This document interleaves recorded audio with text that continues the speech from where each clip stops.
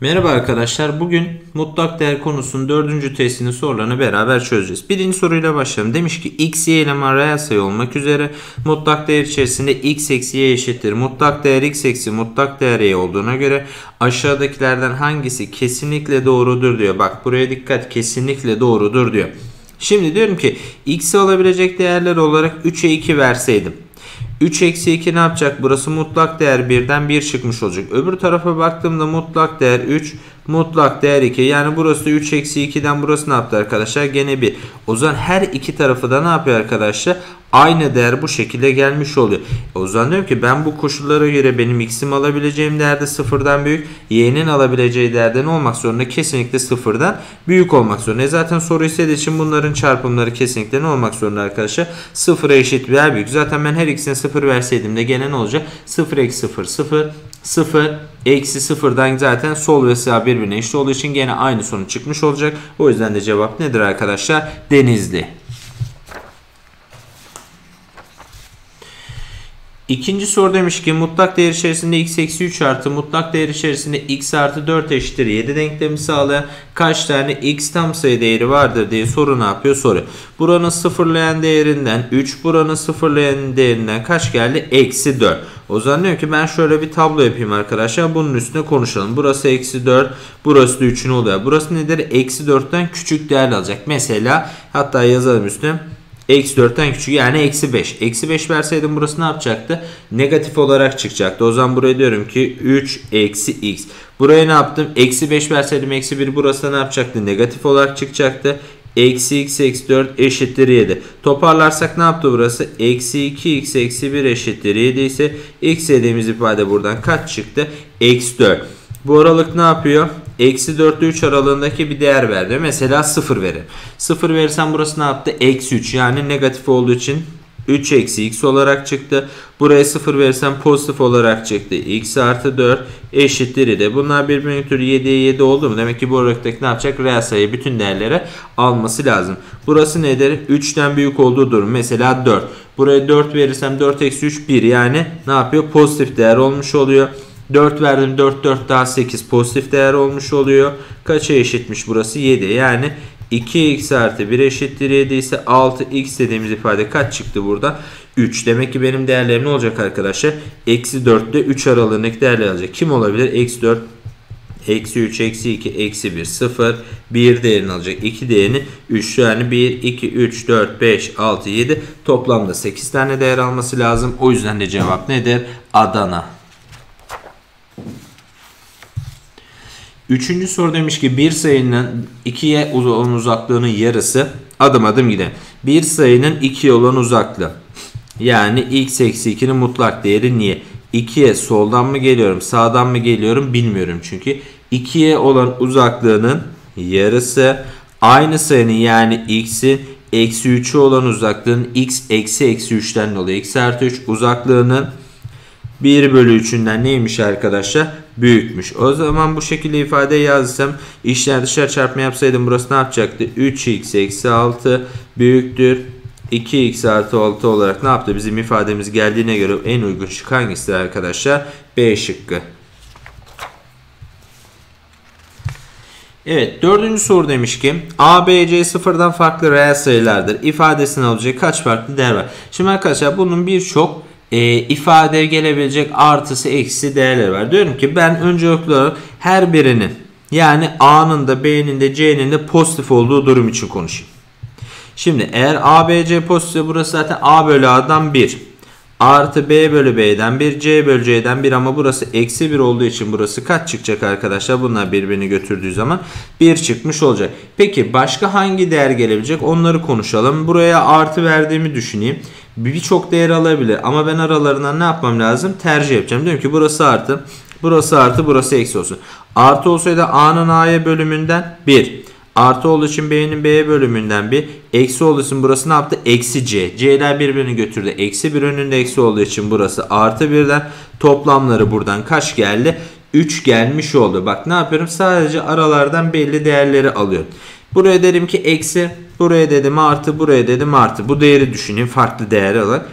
A'nın A'ya bölümü pardon eksi olduğu için A eksi A'lar çıktı. A'ya bölersem burası ne yaptı? Eksi 1.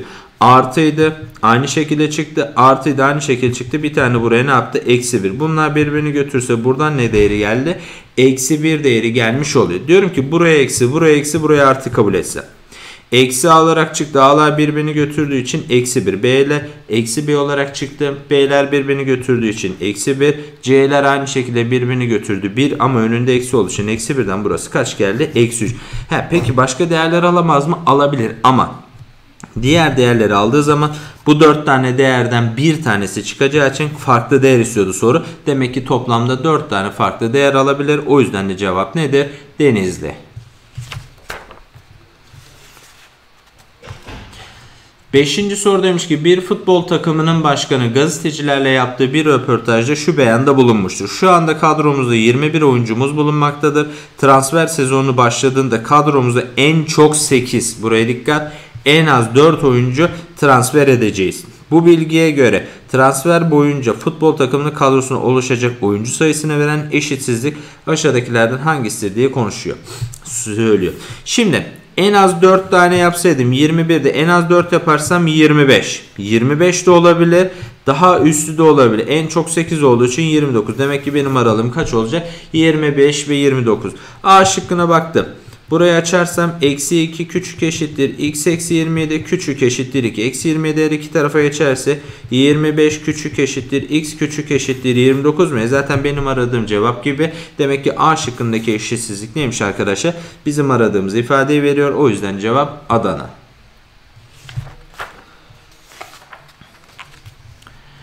Altıncı soru demiş ki eksi 4 küçüktür x küçüktür 6 olmak üzere mutlak değer x eksi x ifadesinin alabileceği kaç farklı tam sayı değeri vardır diye soru sormuş. Şimdi adım adım bunu ne yapalım arkadaşlar elde edelim. Şimdi benim x'imin aralığı eksi 4 ve 6 diyorum ki burası mutlak değer durumunda olduğu için ben bunu 0 küçük eşittir x küçüktür 6 alırsam bu ifade bana ne yapar aslında arkadaşlar? Mutlak değer x eksi x'in aralığının 0'a eşit olduğu durumu ne yapacak? Verecek.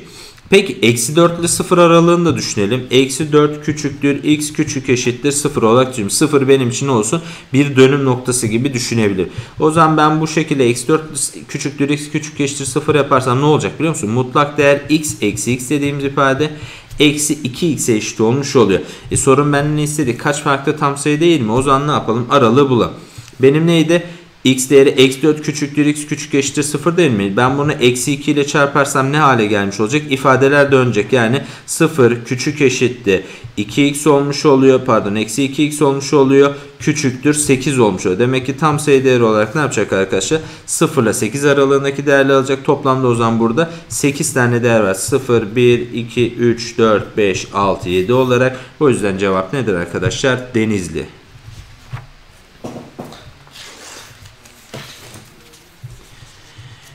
Evet 7. soru demiş ki mutlak değer x eksi 3 çarpı mutlak değer x eksi 5 eşittir. x eksi 3 denkleminin çözüm kümesi aşağıdakilerden hangisidir diye sorun atmış sormuş bize. Şimdi düşünelim bakalım. Mutlak değer x eksi 3 aynı şekilde çıktığı için arkadaşlar ben diyorum ki bunu aynı şekilde çıkarsaydım.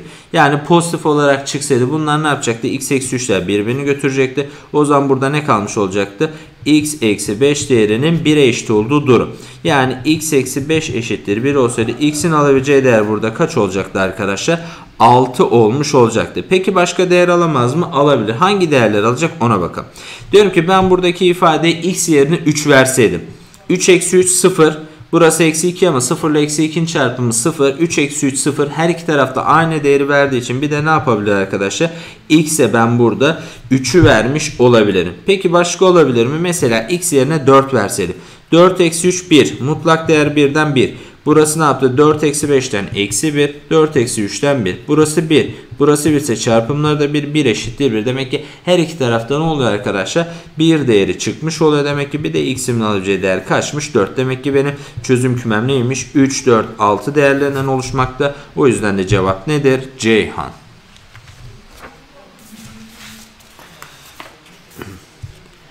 8. soru demiş ki zayıflama merkezine giden 80 kilogram ağırlığındaki Beyhan Hanım'a zayıflama uzmanı demiş ki yapacağımız program sonucunda en az 7 kilo en çok 15 kilo vermenizi sağlayacağız demiştir. Buna göre Beyhan Hanım için ulaşılması hedeflenen ağırlığın değeri ne ifade eden eşitsizlik aşağıdakilerden hangisini? Şu an 80'miş. En çok 15 kilo verse kaça kadar inecek arkadaşlar? 80'den 15 çıkarırsam 65. Küçük eşittir diyorum çünkü 65 de olabilir.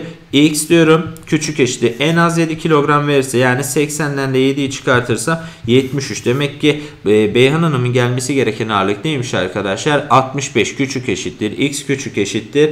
73. Diyorum ki bunu hangi eşitsizlik verir? E şıkkına baktım. Eksi 4 küçük eşittir. X eksi 69 küçük eşittir 4. 69 her iki tarafa yollarsam 65 küçük eşittir. X küçük eşittir. 73. 2 zaten benim aradığım eşitsizlikle aynı şey çıktı. Demek ki bizim aradığımız ifade neymiş arkadaşlar? E şıkkı.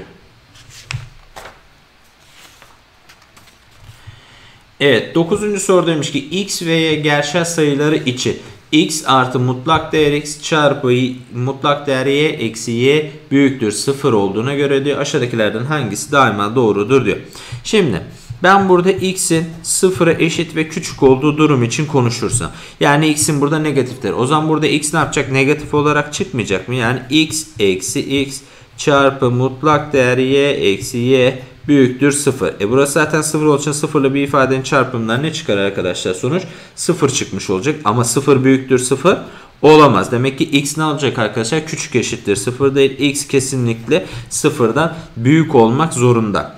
Şimdi geldim y'nin olduğu duruma. Diyorum ki ben burada y'yi büyük eşittir 0 kabul etseydim. Yani pozitif çıksaydı.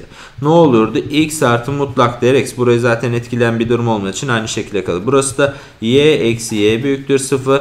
Bu işlemin sonucu 0 olduğu için burası da komple 0. 0 büyüktür 0 olamayacağı için demek ki y bir 0'a eşit ve büyük olamaz. y kesinlikle 0'dan küçükmüş. Yani x pozitif ifadeler y negatif ifade. Demiş ki y eksi x sıfırdan küçük. Şimdi y'nin ifadesi eksi x'inki artı ama artı ile x'in çarpımı eksi olduğu için burası da eksi olacak. Demek ki burası kesinlikle sıfırdan küçüktür. Soru çünkü ne istiyor?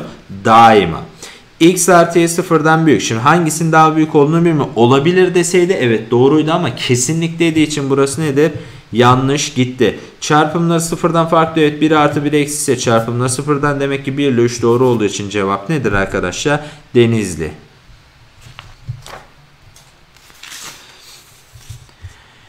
10. soru demiş ki x küçüktür y küçüktür z ardışık tek sayılarmış. a küçüktür x olmak üzere soru bir ifade vermiş bize.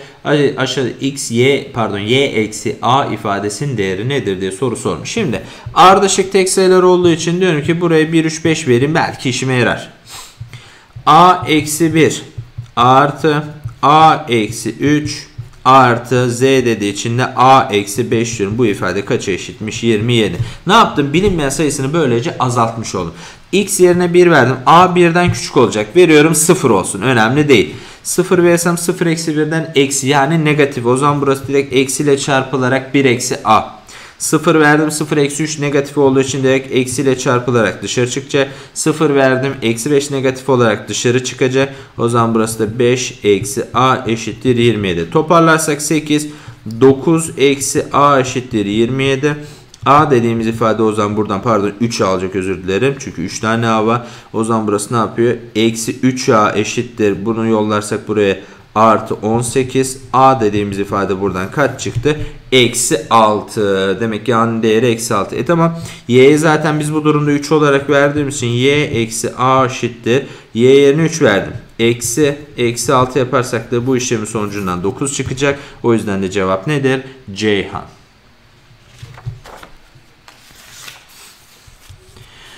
11. soru demiş ki mutlak değer x eşittir 3, mutlak değer y eşittir 5, mutlak değer z eşittir 8 olduğuna göre x artı y eksi z işleminin sonucu kaçtır diyor. Bir kere z aralarında en küçük olduğu için demek ki z burada artı 8 çıkacak ama aslında z burada nedir? En küçük olsun diye arkadaşlar eksi 8. Hemen yazdım. X değeri daha küçük, Y değeri burada var. He, o zaman diyorum ki burada benim alabilecek değerim mesela diyorum ki X yerine ben burada ne vereyim arkadaşlar? E, artı eksi 3 olsun. Burası eksi 3 olsa dışarı artı 3 çıkacak. Sağlıyor. Tamam. Y değerine burada o zaman diyorum ki 5 vereyim ben. Ki ne yapsın? Eşitsizliği sağlasın. Peki başka değer veremez miyim? Mesela burasını 3'e 5. Evet verebilirim. Koşulu sağlar ama Z yerine ben burada eksi 8 yazınca buralardan bir tanesi kesinlikle negatif olsun ki bunların çarpımları ne yapsın? Sıfırdan büyük olsun. O zaman diyorum ki 3'leri ne yapıyorum? Hiç karıştırmıyorum. Ama eksi 8, eksi 3 ve 5 üzerinden soruyu yürüyeceğim. Z yerine eksi 8, y, y, y yerine kaç yazıyorduk arkadaşlar? 5, x yerine kaç yazdık? Eksi 3. Hemen yazalım değerlerimizi. Eksi 3, y yerine artı 5, eksi Eksi 8. 8 5 daha 3. 3 çıkartırsam da bu ifade kaç geldi? 10. O yüzden bizim aradığımız ifade cevap nedir? Edirne. 12. soru demiş ki Arda ile Deniz X ve Y takımlar arasında oynayacak futbol maçında kaç gol atılacağına dair tahminde bulunmuşlardı. Karşılaşmayı X takımı 4-2 kazanmıştır. Yani toplamda 6 tane gol atılmış. Arda'nın tahmini toplam gol sayısına daha yakındır. Arda'nın tahmini toplam gol sayısına daha yakındır. Arda'nın tahmini Deniz'in tahmininden daha küçüktür. He, o zaman diyorum ki 6 ise şöyle bir durum olmak zorunda. Buraya A diyelim, buraya B. Bir tanesi Arda, bir tanesi şuraya Arda, şuraya Deniz. Şimdi 6'dan büyük olacağı için çünkü 6 yapamaz Arda'nınki daha yakınmış. Diyorum ki en az buraya 7 gol desin. E burası eşit olamayacağı için buraya 8 gol dese o zaman 1'i 7 1'i 8'i ikisinin tahminleri toplamı 12'den büyüktür. Evet en az 7'ye 8 verebileceğim için 15 yapacak kesinlikle büyüktü. Arda'nın tahmini 5'ten küçüktür yanlış. 5'ten nedir arkadaşlar? Büyüktür. Hatta 7 en az alabileceği değer zaten 7 bunu. O yüzden burası nedir arkadaşlar? Yanlış. Deniz'in tahmini 6'dan büyüktür. Evet Deniz'in tahmini en az kaçtır arkadaşlar? En azdan bahsediyoruz. 8'dir. O yüzden burası da doğru. 1 ve 3 olduğu için cevabımız nedir? Bursa.